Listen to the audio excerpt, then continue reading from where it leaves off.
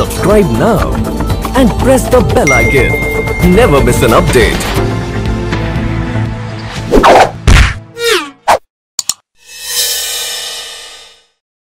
मैं पंकज मिश्रा एस की तरफ़ से आप सभी का गेम्स फॉर फन में स्वागत करता हूँ।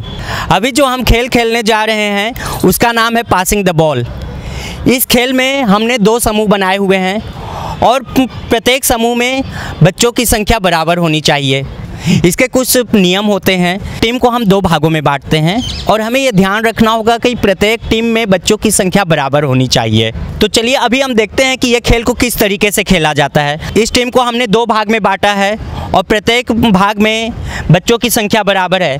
बच्चे बॉल को अपने सिर के ऊपर से पास करेंगे और ये क्रम चलता रहेगा। जब ये बॉल सबसे अंतिम में पहुँच जाएगा तो पीछे का बच्चा इस बॉल को लेकर के आगे आएगा और इसी तरीके से चलता जाएगा चलता जाएगा।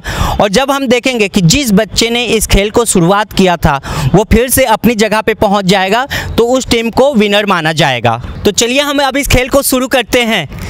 एक, दो, तीन। ध्यान से बच्चों, ध्यान से। और आप सभी को ध्यान रखना है कि इनके बराबर में एक लाइन खींचनी है कि टीम का कोई भी सदस्य लाइन को पार ना करे। आप देख रहे हैं कि बच्चे कितने ध्यान से इसे खेल रहे हैं और बहुत ही रोमांचक खेल है ये।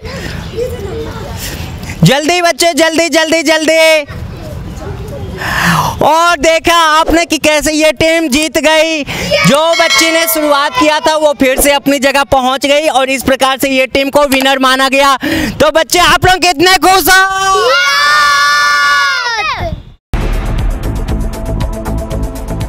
Subscribe now and press the bell icon. Never miss an update.